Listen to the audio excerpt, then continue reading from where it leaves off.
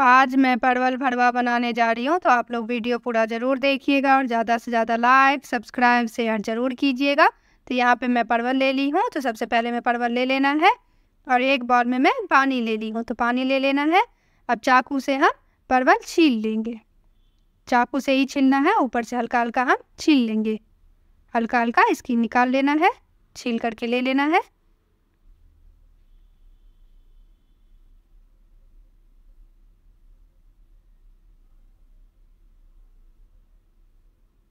अब आगे पीछे का काट करके थोड़ा सा हटा देना है। तो थोड़ा थोड़ा कट करके हटा देना है।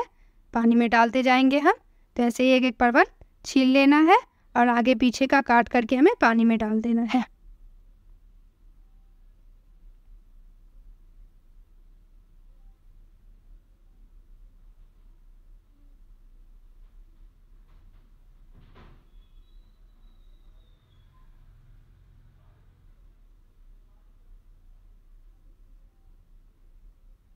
तो आगे पीछे का काट देना है और चाकू से ही छिल के हमें लेना है।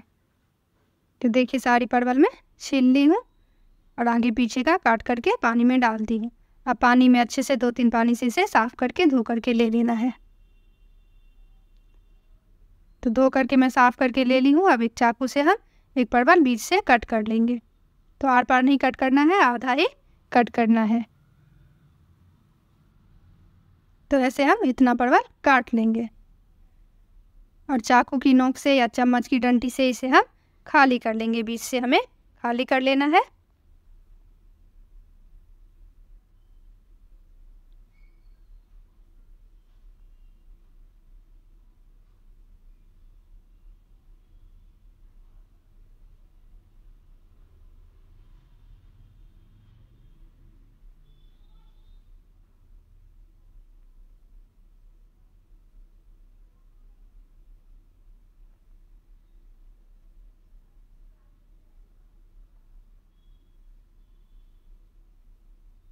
देखिए, मैं बीच से खाली कर ली हूँ तो ऐसे ही थोड़ा थोड़ा अंदर से खाली कर लेना है।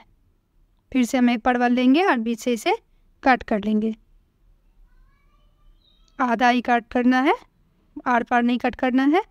अब हम चम्मच की डंडी से या चाकू की नोक से इसे खाली कर लेंगे। इसे फेंकना नहीं है खाली करके।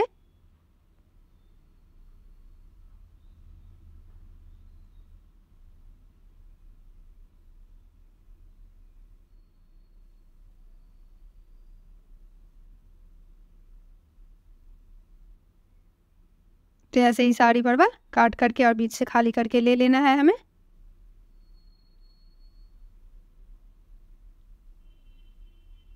तो सारी परवल में काट करके और बीच से खाली करके ले ली हूँ।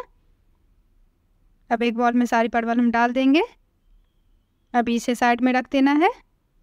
अब ये जो बीज से मैं निकाली हूँ तो इसे जो टाइट बीज हो उसे हटा देना है, जो सॉफ्ट वाली हो तो उसे काट लेना है। थोड़ा थोड़ा पतला बारीक कर देना है।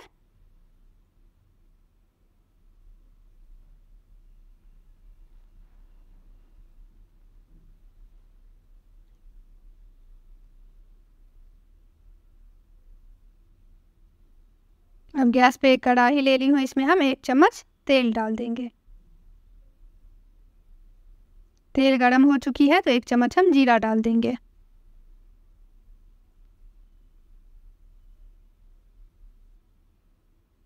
जीरा पक चुकी है तो इसमें हम एक प्याज काट करके डाल देंगे। प्याज हम थोड़ी सी पका लेंगे, सॉफ्ट कर लेंगे। देखिए, प्याज सॉफ्ट हो चुकी है तो एक चम्मच में इसमें लहसुन अदरक की पेस्ट डाल दी हूँ। एक मिनट इसे चलाते हुए भून लेना है, लहसुन अदरक प्याज को। ये देखिए, एक मिनट में पका ली हूँ। अब जो परवल के अंदर से खाली करके रखी थी, वो सारा इसमें डाल देना है। एक मिनट इसे भी पका लेना है इसके साथ। तो देखिए, एक मिनट में पका ली हूँ तो सॉफ्ट हो गई है तो इसलिए हार्ड वाला बीज नहीं लेना है। अब एक टमाटर काट करके डाल दी हो तो एक टमाटर डाल देना है। एक बार हम मिक्स कर लेंगे। अब इसमें हम मसाला डाल देंगे। तो स्वाद अनुसार नमक डालना है। आधी छोटी चम्मच में नमक डाल दी हूँ। आधी चम्मच हल्दी पाउडर। आधी चम्मच मिर्च पाउडर। आधी चम्मच हम धनिया पाउडर डाल देंगे। और आधी चम्मच गरम मसाला डाल देना है। अब इसे अच्छे से मिक्स कर देंगे और धीमी आँच पे इसे चलाते हुए हमें पका लेना है।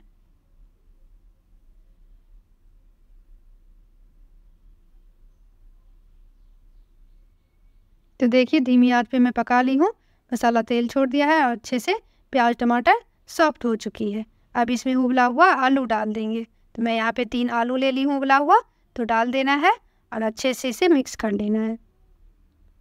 धीमी आँच पे हम इसे चलाते हुए पका लेंगे।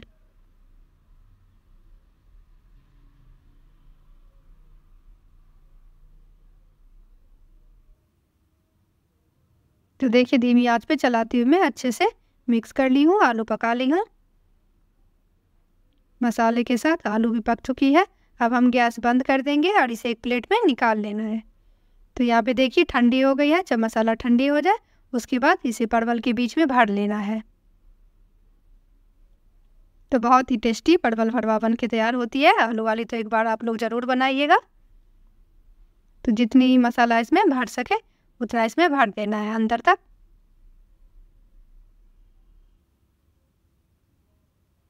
तो देखिए, मैं अच्छे से भर दी हूँ तो ऐसे ही एक एक करके भर लेना है।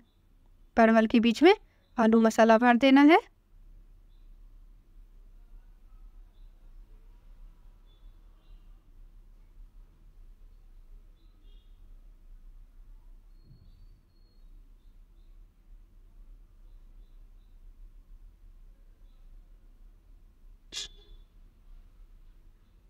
तो देखिए अच्छे से, भर दी तो ऐसे ही सारी परवल भर के तैयार कर लेना है।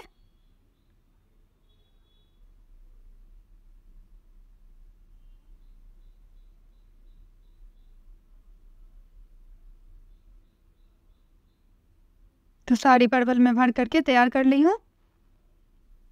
तो ऐसे पहले तैयार कर लेना है। अब गैस पे कढ़ाई ले ली हूँ, इसमें हम एक चम्मच तेल डाल देंगे। ज़्यादा नहीं डालना है एक चम्मच डाल देंगे। अब इसमें सारी परवल डाल देना है। आप लोग चाहे तो ज़्यादा तेल भी डाल करके उसमें फ्राई कर सकते हैं। तो सारी परवल इसमें रख देना है। और आधी छोटी चम्मच हम नमक इसके ऊपर से छिड़क देंगे, डाल देंगे। अब इसे ढक्कन से ढक देना है। धीमी आँच पे इसे पकाना है तो दो मिनट के बाद हम ढक्कन हटा करके इसे पलट देंगे, दूसरी तरफ़ पलट देना है। तो ऐसे ही हम ढक्कन से ढक करके हर दो दो मिनट पर इसे अलटते पलटते रहेंगे।